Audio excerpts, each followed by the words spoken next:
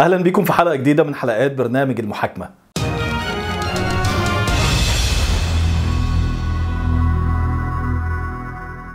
أنا من الناس المؤمنين جدا إن مفيش أي حد في الدنيا هيحبك قد أمك. الأم قيمة عظيمة جدا.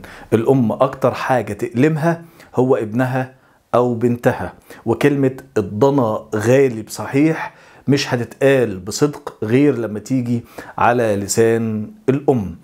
حلقة النهاردة مختلفة شوية لأنه القضية والأحداث اللي أنا هحكيها لحضراتكم غريبة وما تدخلش عقل نهائي. في مدرسة ابتدائية موجودة في مدينة عمان في الأردن. المدرسة الابتدائية دي يوم الصبح لقوا طفل عنده سبع سنين جنب سور المدرسة. الطفل كان بيعيط ومنهار وحالته الصحية غريبة شوية. لقوا على البنطلون بتاعه آثار دمه إنه بيتألم والطفل في حالة فزع شديد جدا. أخدوا الطفل ده ودخلوا بيه المدرسة وراحوا لمديرة المدرسة. على طول حصل إنه تجمهر كبير جدا من المدرسين والكل مستغرب. بدأوا يكشفوا على مصدر المشكلة اللي حاصلة عند الطفل فلقوا المشكلة موجودة في العضو الذكري للطفل. طلبوا الشرطة وطلبوا الإسعاف وطلعوا بالولد على المستشفى. أثناء التحقيقات اللي استمرت وكان الموضوع يعني غريب شوية لأنه العضو الذكري للطفل اتقطع بشفرة موس عن عمد بدأوا يسألوا الطفل مين عمل فيه كده؟ الطفل كان منهار انهيار كبير جدا. بعتم لأولياء الأمور. للطفل جه أبوه وجت أمه. يسألوا الأب قال أنا معرفش آخر حاجة أعرفها إن أم الطفل نزلت بيه من البيت علشان توصله للمدرسة. والطفل ده لقوه موجود جنب سور المدرسة. فبدأوا يسألوا الأم قالت أنا معرفش أنا وصلته لغاية باب المدرسة. وسبته. الطفل بعد يعني ما نفسيا استقر شوية وبعدين بدأ يهدى شوية بدأوا يتكلموا معاه بهدوء وسألوه مين عمل فيك كده وكانت المفاجأة اللي ما يتحملهاش قلب إنسان؟ إنه اللي عمل في الطفل ده كده هي الست والدته أمه. أم الطفل ده هي اللي خرجت بيه من البيت ووصلت بيه لغاية المدرسة وفي مكان هادي جنب سور المدرسة وقطعت بشفرة موس العضو الذكري لابنها. طبعا من بعد اعتراف الطفل على أمه اخدوا الست دي على جنب وقالوا لها بقى ده هو الموضوع بقى مش سهل الموضوع كبير اقعدي بقى كده واحكي لنا إيه اللي أنت عملتيه في الطفل؟ طبعا الست من بعد اعتراف الطفل انهارت ودخلت في حالة يعني وقالت أيوه أنا اللي عملت كده وأنا هقول لكم أنا عملت كده ليه؟ ليه يا ست هانم؟ ليه يا أم؟ ليه يا مثال الرحمة والشفقة والعطاء؟ ده إحنا اتورثنا من أهالينا ومن جدودنا إنه مفيش أي حد في العالم يتمنى إنك تبقى أحسن منه غير أمك. يعني الأم أو الإنسانة ما تحبش أختها تبقى أحسن منها ما تحبش قريبها يبقى أحسن منها ما تحبش جارتها تبقى أحسن منها كذلك الراجل. ولكن الكائن الوحيد اللي الإنسان يحبه يكون أنجح منه وأحسن منه وأعلى منه هو الابن. إيه اللي حصل؟ قالت أصل أبوه فاجئني من فترة إنه عايز يتجوز عليا عايز يسيبني ويروح يتجوز واحدة تانية. فأنا فكرت وقلت لازم أوجعه وانتقم لكرامتي منه وما لقيتش أعز ولا أحب للراجل ده من ابنه. فقلت لازم أوجعه وأألمه وأنتقم منه في ابنه. قعدت أفكر كتير أعمل إيه فيه. إزاي أسبب للطفل ده مشكلة تكسر الأب وتخليه يتلهي عن فكرة إنه يروح يتجوز واحدة تانية؟ فجت الفكرة إن أنا لبست الولد في اليوم ده الصبح وأنا الشيطان عمال يلعب في دماغي. نزلت بيه من البيت وأنا بفكر أعمل في الولد ده إيه؟ أفاجئ الراجل ده إزاي؟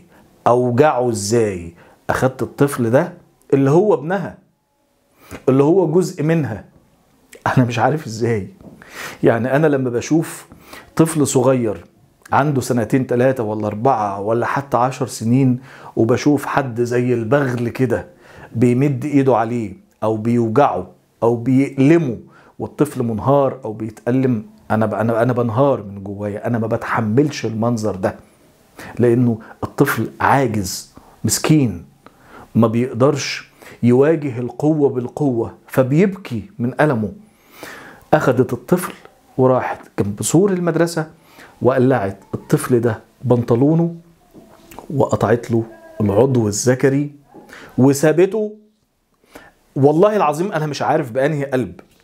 يعني وأنا بقرأ سطور القضية دي أنا مش عارف ده حصل إزاي. يعني مش فاهم مش مستوعب. وسابت ابنها بينزف بينزف من المكان ده. ليه يا ست؟ بنتقم. ليه يا ست؟ حسيت إن أنا كرامتي انجرحت. ليه يا حاجة؟ ما أنا عايز الراجل ده يتوجع زي ما أنا اتوجعت. سابت ابنها فلزت كبدها. عينيها اللي ماشية على الأرض. سابته يا حبيبي جنب السور في الحالة دي ومشيت. الولاد أو حد معدي شاف الولد في الحالة دي فبلغوا المدرسة وجت مديرة المدرسة والدنيا اتقلبت وجه المدرسين وودوه واستكملت التحقيقات لغاية ما كشفت عن الفاجعة اللي من العيار التقيل اللي أنا مش متخيله طب يا ست أنا مش بشجع على الجريمة. ولا إن أنا مع إن حد ينتقم من حد. أنتوا الاتنين زوجين. ده مشروع. الجواز ده هقولها للمرة المليون لإخوات السيدات وحتى لإخوات الرجالة. يا جماعة ده مشروع. أنتوا الاتنين بتتجمعوا بعقد. فيه بنود عقد شراكة. بيقول إنه بتجتمعوا أنتوا الاتنين كل واحد فيكم ليه دور ناحية التاني. زي اتنين فتحوا مصنع واحد برأس المال واحد بالإدارة.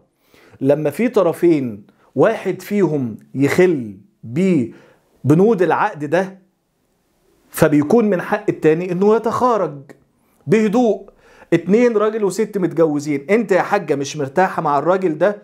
قولي له أنا عايز أنفصل. العقد ده أنا مش هكمل فيه. الشركة دي ما بقتش مريحاني وأنت كذلك. الست دي مش مريحاك ومش مبسوط معاها. بدل ما أنتوا الاتنين توصلوا لمرحلة الجريمة أو الانتقام أو الأذى أو الفضايح دي كلها لو سمحتي أنا عايز أنفصل وعايز أعيش لوحدي. طلباتك إيه؟ وأنتي. قولي له. طلباتك إيه؟ وتخارجوا بهدوء. تسريح بإحسان. تسريح بمعروف. اهدوا شوية.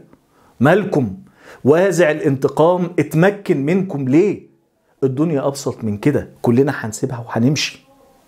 انت حصل مشكلة ما بينك وما بين الراجل ده. اتعاملي معاه هو. لكن تقولي هوجعك في طفلك. يا جماعة بأي ذنب قتلت؟ يعني الطفلة دي ربنا سبحانه وتعالى بيقول وإذا الموءودة سئلت بأي ذنب هي ذنبها إيه؟ الطفل ده اللي انت وجعتيه وجرحتيه هو ماله؟ الراجل ده شاف واحدة تانية عجباه ومقلوظة ومكلبظة وحنينة وبتسبل له عايزها. ما يتحرق ما يولع. عاجبك؟ عيشي معاه. مش عاجبك قولي له أنا آسفة مش هكمل معاك. لكن ذنب المسكين ده إيه؟ الست اتحولت لمحاكمة عاجلة وتم الحكم عليها بالسجن وقضت فترة السجن. الحادثة دي حصلت في التسعينات في عمان في الأردن. وقتها الملك حسين الله يرحمه لما تداولت الصحف القضية دي أمر أن الطفل ده يسافر فورا إلى إنجلترا. وتم علاج الطفل ده وأكيد دلوقتي أصبح شاب.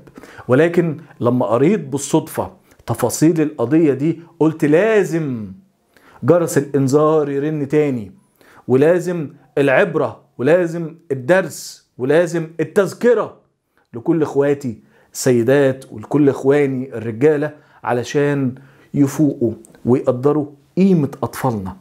أطفالنا ملهاش أي ذنب. العيال اللي بيطلعوا ملهمش أي ذنب. أنت غبي هي غبية. أنت مش مرتاح. هي بصة لواحد تاني أنت باصص لواحدة تانية. الأطفال ملهمش ذنب. الأطفال ملهمش ذنب. ارحموهم ورفقا بالزهور اللي لسه بتتفتح على الأرض. اللي أحيانا كتير جدا. والله بتبقى خسارة في جدتكم. أشكركم على طيب المتابعة. وعلى وعد بلقاء في حلقة جديدة من حلقات برنامج المحاكمة.